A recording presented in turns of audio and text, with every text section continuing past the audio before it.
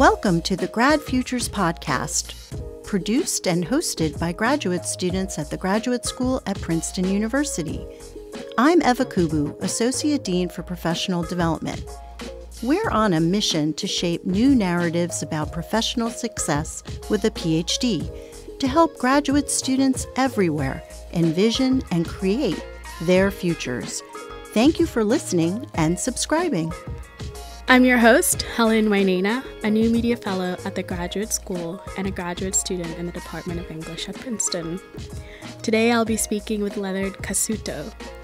Lenny is a professor of English at Fordham University and a columnist on graduate education for the Chronicle of Higher Education. He is the author or editor of nine books on subjects ranging from crime fiction to sports. His most recent two books, The Graduate School Mess and The New PhD How to Build a Better Graduate Education, co written with Robert Weisbuch, look at the state of American education. Lenny, welcome to the podcast. Thank you, Hellen. I'm glad to be here. Uh, what I love to do in the beginning is to sort of get a, a snapshot from your own words about your journey to where you are currently today as a professor and also as a columnist for uh, the higher education. I mean, you you have this wealth of knowledge, teaching, um, doing scholarship, and and now uh, a really vested interest vested interest in the ecosystem that is academic institutions. So, can you just describe for our listeners how you came to occupy this position? Well, I've I've always been vested in American higher education in the sense that it's paid my bills, but I think that I've become much more interested in how it works. I've tried to recognize opportunities when they happen to me, but I've also tried to create them for myself. As I said, with mixed success. Mm-hmm. And so so when I when I entered the academy, I got lucky and I got a job and I worked very hard to get tenure and I refused to allow myself to look past that event horizon. Mm-hmm. It was maybe even a matter of superstition. I just uh, refused to consider anything uh, about what would happen after tenure because I wasn't sure I would get tenure and I didn't want to start assuming it. Right. When I did finally get tenure, I had the good sense to get out of the the track that I had been running so hard in and I, I went to Africa for half a year, and I taught at the University of Dar es Salaam in Tanzania. And oh, that had the virtue of giving me the adventure that I thought I was seeking as a reward for working so hard. Mm-hmm. That was fine. But the better reward was that it yanked me out of the context that I was in and forced me to do something that I realized that I needed to do, to do, which was take stock, to look beyond the horizon now that I had finally reached it, to take, in effect, take my eyes off the road, the uh, the uh, that was be- beneath my feet, and raise it to establish a new horizon. And I realized that okay, I've got, I've I've achieved this goal. I've given myself a measure of security and predictability in my employment what am I now going to do? What kind of professor do I want to be when I grow up? now that I've sort of grown up and I realized that I had some responsibility to make a make a plan, not just to continue in the same vein that I had been uh, been been working because it wasn't appropriate. Now that I had achieved that first goal, this is very fascinating. So, part of my personal background um, is that my family is from Tanzania, and my mother mm. works at the University of Dar es Salaam um, as an administrator. She started as a secretary and has um, sort of worked her way up into sort of a register, a kind of directorship level um, in the registrar's office. But if you ask my mom why it was so important for her to get us to the United States is she'll say that I never wanted my kids to go to the University of Dar es Salaam because students there struggle and there are all kinds of um, administrative hiccups and research hiccups. So I, I'm actually really curious about your experience at the University of Dar es Salaam and how it helped catalyze this let me find let me actually define what it means to be a professor now. oh it was it was a fascinating time see dar es salaam is far more selective than harvard if we think about the number of of uh, bottlenecks and cut and cuts that the uh, selections that that the, that each student has to undergo before they actually get there, because uh, not simply higher edu- higher education is, is not simply selective. Secondary education is selective. You know all Yes. this. So, uh, so my my students were immensely talented, but they were uh, very good rule followers because you have to be in order to get to a place like that, and of course, I am one too. So, uh, trying to uh, separate them from some of their more cherished assumptions was something that I felt was my own duty while I was there to break them out of the traditional British lecture and recitation format and uh, get them to think for themselves uh, or formulate questions for themselves, try to answer them. Some of the students greatly resented this because it was an, an I was asking them to acquire a new skill and they weren't necessarily fluent at it to start with. Others were very grateful for it. Uh, it's been uh, it was tremendously gratifying, and for me to live in that situation where I didn't have a telephone, where if uh, somebody wanted to visit me, they would just show up at my door, and protocol dictated that I stop whatever I was doing, invite the person in, and uh, and visit. It slowed me down in ways that I had not been used to being slowed down, and that helped me in the reflection process that I was engaged in to think about, okay, what what do I want to do now? And when I when I got back, I uh, started to reorganize myself professionally to do different kinds of writing, writing for newspapers and magazines. And what were you writing about for these newspapers? And Oh, all kinds of things. I was really having fun just uh, following my own interests. I, I wrote about science, I wrote about music, I was writing about sports, and also in some cases about literature for, for popular audiences. And it was um, a real sort of potpourri. I, I was um, learning the trade, and I was learning the trade by following my nose from this place to that, learning how to recognize where stories were. Essentially, I put myself through my own version of journalism school.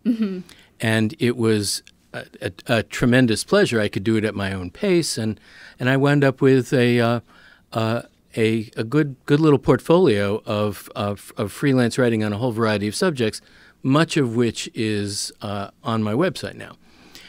Uh, but the, uh, the regular column, well, started some of, some of the freelance writing that I that I was doing was on academic culture simply because it was something that I was in. I was living it, and so the I learned how to recognize ideas there, and I could pitch them to the Chronicle of Higher Education, which was a publication that I was already reading. I wrote a, a number of pieces for the Chronicle, and one day uh, I would uh, I I got an idea about something that I had been that I'd seen, which was the the spectacle, the very the very sad spectacle of the graduate student who doesn't finish, and yet who remains around from year after year because nobody can bring themselves to say to that student, "You need to either finish or you need to leave. Mm-hmm. We need to find a way." To help you finish, or we need to find a way to help you leave. Right. And by finishing, you mean like defending their dissertation? Right, finish writing the they have- dissertation. oh. and They're- they're have a stuck. job on the line, or Well, just they typically do not yet have a job on the line. They're stuck. Mm-hmm. The I think that any of us who spend time in the culture of graduate education will encounter graduate students who are stuck. While I was writing that piece, which was essentially, I started with the how do you help a, a graduate student to leave when it will be best for that student to leave. While I was writing that, I realized that there needed to be a companion piece. How do you help a graduate student who's stuck get unstuck? right? So a prequel. you try you try to get them unstuck, and if it doesn't work, then you have to help them find an off ramp. Right. So I so I wrote that second piece, and when I was finished, the editor said, "How would you like to do this regularly?" Hmm. And now we can say, "Okay, this is where I slap myself in the forehead and say, don't," the, because of course I wanted to do this regularly, and I should have thought of this long before. This is the uh, the entrepreneurial failure. What I was describing before, where I found made myself in, uh, into a journalist, that to me, as I look back at it, is an example of entre- entrepreneurial success in my life. You know, I'm not trying to um, to be conceited here. I want to recognize my successes and my failures together, but to not recognize that I wanted to be a columnist, and yet not have it occur to me that I should just go out and ask to become one. At that point, I, I'd written probably going on two dozen pieces for the Chronicle of Higher Education. At that point, it was my main outlet, Right. not my only one, but my main one. And uh, I'm sure they would have entertained a proposal from me. And so I look back and I think I was I was an idiot not to not to have recognized that, and I need to recognize that moment and see how I can learn from it so that I can try to not overlook opportunities to do the things that I actually want to do. So of course I said yes Yeah. to to the uh, to the offer to become a columnist. That was more than 12 years ago.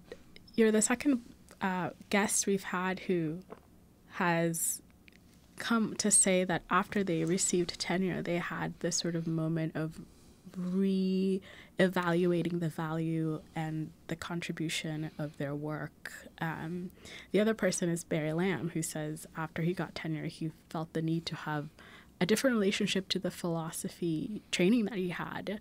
And by sort of you know, a string of coincidences, you might say, or opportunities or happenings, found himself really taken by the idea of creating a podcast that created narrative storytelling and ideas and philosophy. And, uh, you know, to me, what I'm hearing you both say is that there were skills in in your repertoire that were not sort of maybe appreciated by or maybe only appreciated in sort of one particular lane, right? That you produce scholarship that is then read and peer reviewed, um, and serves serves its function in terms of the tenure track. Whereas there's an those skills are not just applicable to the tenure track; they're applicable towards other things like writing publicly, um, and taking your passion and curi- you know curiosity and research skills to sort of to this other new direction, which is not as clearly defined as the tenure track. Is that a common experience among professors, just to sort of broaden the scope? Because this is just these are two examples that we've had on the podcast. It's not particularly common, but perhaps among podcast guests it might be a little bit more. But uh, I want to I want to answer that question in ter- in terms of two keywords: information and responsibility. First, information. It has often been said by me that uh, PhDs are information specialists. PhDs are the the foremost information specialists in the in the culture. I believe that uh, they not only know how to uh, how to find information, uh, and they've been trained to do so at a, a, a greater level of depth and sophistication than any other form of educational training that's offered will will give. They um, so they know how to find it. They know how to work with it once the, once they do find it.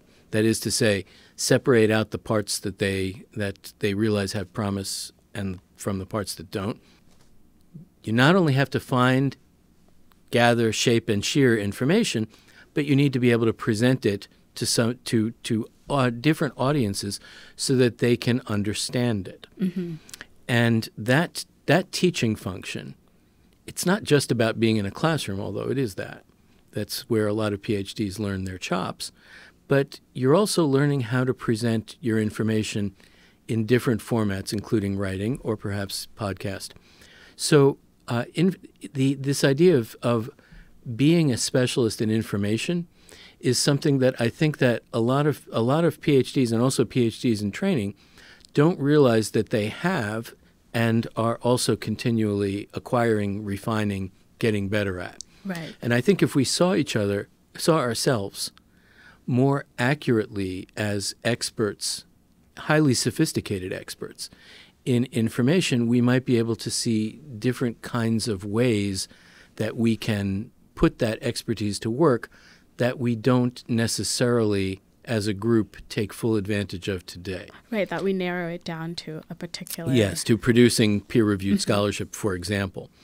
This, the second keyword, responsibility, is the the partnership the the partner word to freedom. That academic freedom is a fetishized phrase mm. in American academia with plenty of good reasons. It's got uh, it's got an important history in the formation of American colleges and universities, and particularly the peop- the uh, the shape of the jobs of the people who work at them. No freedom worth having, at least by my lights, comes without a responsibility. And uh, in uh, United States academia, academic responsibility is something you don't hear about nearly as often as academic freedom. Mm. When I got tenure, I realized on some level, and increasingly in an increasingly more explicit way, that I had a responsibility, that I was being given a, a level of security and predictability in my work that would allow me to take chances if I wanted to, to be ambitious in ways that wouldn't necessarily be available to me if I were being reviewed every three, three or six months, and that I could um, choose to follow my uh, follow my interests in an area in, in a way that would allow me to pursue what seemed to me to be most uh, most important toward creating the kind of sustainable academic culture that became increasingly central in my own mind. Mm-hmm. So for me, a lot of this was trying to figure out what my academic responsibility was. And I found it in writing for broader publics. Not all academics are going to do that, mm-hmm. but some of them can, and uh, and some of them should, and those of us who can and should ought to have that that not simply the freedom to do it, but should feel the need to do it because American academia, I would say academia in the Western world, has never needed ambassadors to the general public, the, the general publics, I might say, more than it needs it now. Well, I'm thinking now about um, the sort of existing model of uh, graduate education. Um, and you've written in the higher uh, higher education, the Chronicle of Higher Education, that that this model is not sustainable. And from my vantage point, um, that feels true because I know about the absence of jobs, right? I know that my chances of getting a job after I graduate is is very slim. So how but I'm I'm curious to hear from you like how else is this model unsustainable? Let's talk about a keyword, crisis. Mm-hmm it's not a good keyword because crisis implies something that has uh, happened that, that's that's intense and of short duration. But what we can what has been variously been called the employment crisis in graduate education, where you we have uh, many too few professors' jobs for many too many PhDs to fill them.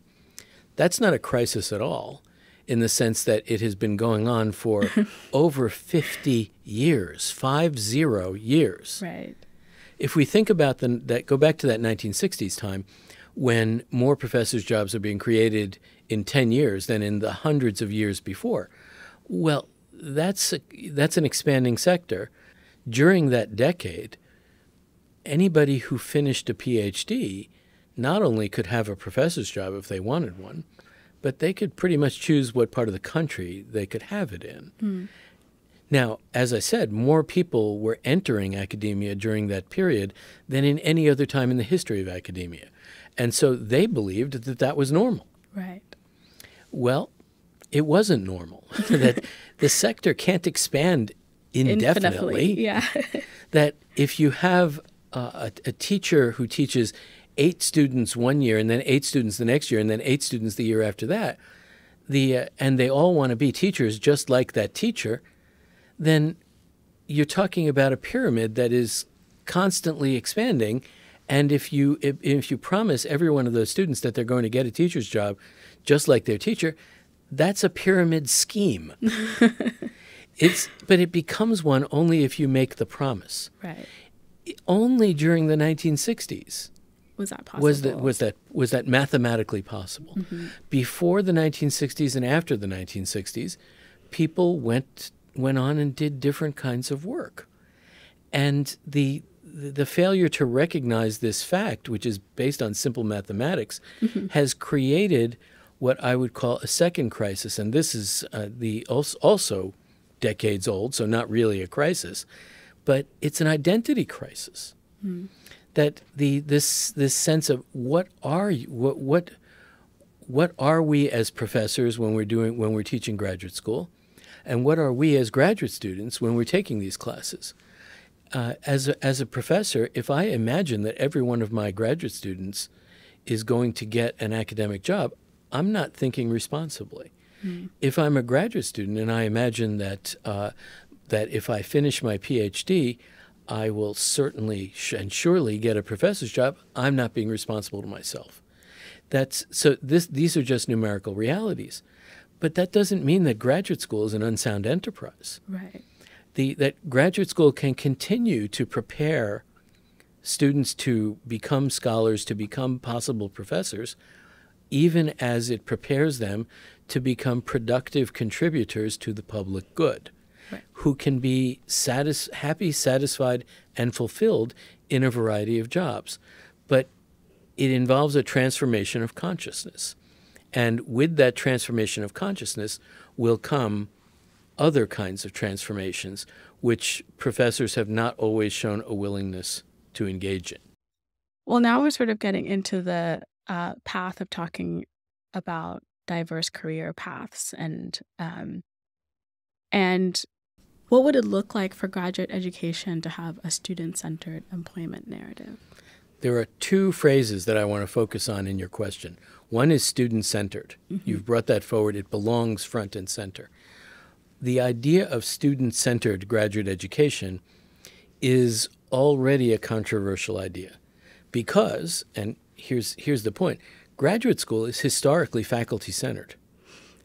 We may call it school, but it's, it's, fac- it's faculty centered. I want to give two examples of this.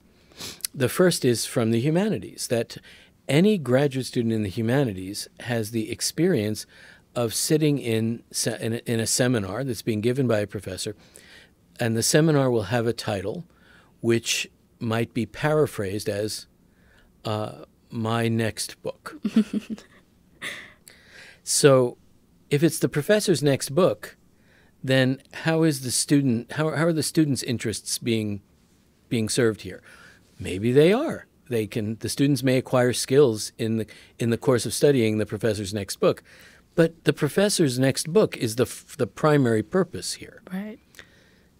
In this in the sciences. We have we haven't we haven't talked too much about the sciences in, in uh, specifically but in uh, for graduate students in the sciences get their dissertations from the whatever projects that, that are funded in the in the advisor's lab the the dissertations of students in the bench sciences are literally uh, taken from the research agenda of their professor advisor mm-hmm. who is running their lab.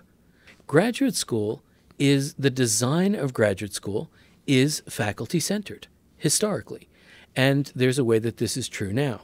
For us to say that it should be student centered, that is, that the graduate education enterprise should proceed from the concerns of the graduate students rather than the faculty members, you're already talking about something that's revolutionary, even though the fact that graduate school is faculty centered has been effaced mm-hmm. so thoroughly that it's hard to see how revolutionary it is. Right.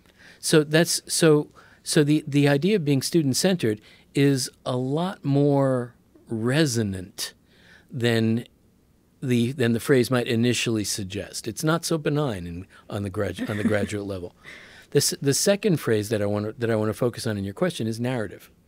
That is, so much of what we do in any workplace is it's a story that we're telling about ourselves. That when we ask what is it that we're doing in this workplace, the story that we tell the people, the, the professors and the graduate students in this scenario it's crucial. If you if you tell graduate students when they walk in the door, we're here to help you become a professor to become professors, period, full stop. That's not a sound story to tell them. Right. It's in fact, it will create expectations which, as as we just discussed, can't be full, can't be filled in most cases. Right. Therefore, if we tell that story, we are teaching students by teaching them to have certain expectations that can't be fulfilled, by teaching them to want something that you can't provide, and to teach and at the same time teaching students to say that if you don't get that thing, that anything else that you get will be second best or worse. What that is is teaching students to be unhappy. if you and and how can how can we stand by and watch this happen? That how can we participate in it? Teaching students to be unhappy is practically the worst thing that a teacher can do. Yeah. And so that's part of the urgency that informs my own my own work in this sector. Mm-hmm. That I'm I see this happening everywhere, and it dis, it, it doesn't distress me. It makes me distraught at, at times because these are some of the most talented young people that our um, that that our society can produce, and we're um, we're teaching them to narrow their sights and to um, to narrow the, the the number of places where they can find fulfillment in their lives, that crosses over from an unethical almost to immoral. Mm. We can't do this. A uh, somebody with a PhD, or for that matter, somebody without them, without one, who is working out in the world, doing doing a job and gaining fulfillment from it. Well, that's that's the best argument for graduate school there is. I'm curious if you can be more specific in terms of like how can universities sort of prepare graduate students for this alternative, not just alternative, but like um, to sort of broaden the scope of what a PhD uh, student or um, graduate can do. Um, you know how how can or maybe even to sort of flip the question is to say how can university employ prepare employers for PhD those are two related questions. So what so what can universities do to prepare students mm-hmm. for the kind of diversity that they are that that, that their students will that, that students will face irrespective of whether they wind up in academia or not. Yes. And uh, how can universities educate employers about the value of graduate students? So let's take those questions quickly one at a time. How how can universities help prepare students better? Well, that's a question that's best answered on the, on the level of the individual program. So how can how can a, uh, a, a program in subject discipline in discipline X mm-hmm. prepare the graduate students in discipline X for a diversity of possible career outcomes, even as they help those students prepare for the academic career outcome. That is, we don't want to create a scenario where we're diluting the uh, the content of the discipline in favor of the kinds of skills that can help a student uh, the uh, in um, in uh, non-academic workplaces. Mm-hmm. Uh, we've talked about how all PhD students are information specialists. First, there's how do you communicate the awareness you are an information specialist rather than you are a specialist in early Victorian literature. right. And so I can't do that. I can't do another job. I just, all I know how to do is early Victorian literature. Well, no, actually, you're an information specialist. So some of it is about communicating skills that you are already imparting, but some of it is, can be adding to them in the humanities. In this, the example of that class in Victorian literature. Well, one of the things we know is that employers, while employers appreciate the level of uh, information skills that PhDs bring to the workplace, humanities PhDs, understandably, don't have a lot of experience in team-based collaboration mm-hmm. because a lot of a lot of our work, particularly as we we become more advanced at it, is uh, writing, alone, re- writing working. and researching alone. Yeah. Well, that it doesn't have to be that way, and so when I, when I teach graduate seminars, I give students team-based tasks because I want them to learn to work in teams. I don't do it with all of their tasks, but I do it with a lot of them. And I'm open to hearing their proposals about how they can do their tasks differently in different formats, for example, different media. Mm-hmm. But this idea of collaboration, I, intro- I, I introduce it into my classes because I know that my students will need this. It doesn't dilute the content at all. It doesn't right. affect the content one bit. But it comes from my awareness that I'm responsible for helping them acquire the, a set of skills that will serve them not simply in academic workplaces, but also in a, a larger diversity of workplaces. Right. That, that individual instance is generalizable. Mm-hmm. That anybody, any professors aren't idiots. we, we, you know, if we think hard about curriculum and how we can introduce the kinds of, of skills into curriculum, not at the expense of content, but as a way of delivering content that can help students in a variety of different settings, we ought to be doing that. Yeah.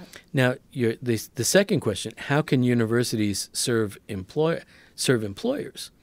Well, there are, are there are a lot of employers who are not particularly aware that PhDs can serve their employment needs better even than whatever de- whatever section of people, whatever demographic they're hiring from right now.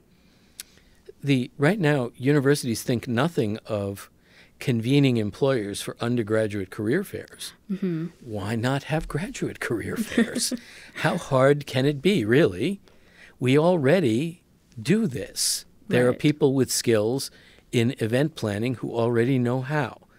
It would involve creating a, um, a, some some extra literature where you're inviting employers to look for a different kind or a, a, more a more sophisticated caliber of graduate, but there there's there's a lot of of mutual interest here. Right. I interviewed years ago somebody who uh, who worked in public relations, he said that uh, he loved hiring PhDs because he said they have this great skill set that somebody else already paid for. yeah. And that uh, and so he would put he said he'd put them in he'd start them in, in, in lower middle management and he'd watch them rise like the opposite of a shooting star. they, they, they'd, they'd ascend into the heavens really fast because once they once they picked up the particularities of that of that specific workplace, they'd use their skills and they'd they'd they'd zoom upwards. Right. Well, the uh, there's we can generalize from that too. Why not have you have graduate schools reach out to employers both in the community and also national corporate employers because graduate students should have the choice. Right. Of course, we should still be trying to um, to to prepare people to be professors. That's that's the first uh, the the the first purpose of graduate school, but it's not the only purpose of graduate school. Absolutely. And also to say that if this crisis has been, which is not a crisis because it's been ongoing for 50 years, there are graduate students who have um, have had a diverse outcomes in terms of their careers that they that that is a there is a a network already there that is unrecognized, um, and that institutions can maybe do more work to sort of pay attention to and track, um, and bringing those graduate students back. And I think some institutions have, especially Princeton, um, have started to do something like that. We like to close here with advice for graduate students. Do you have any words of wisdom, Lenny?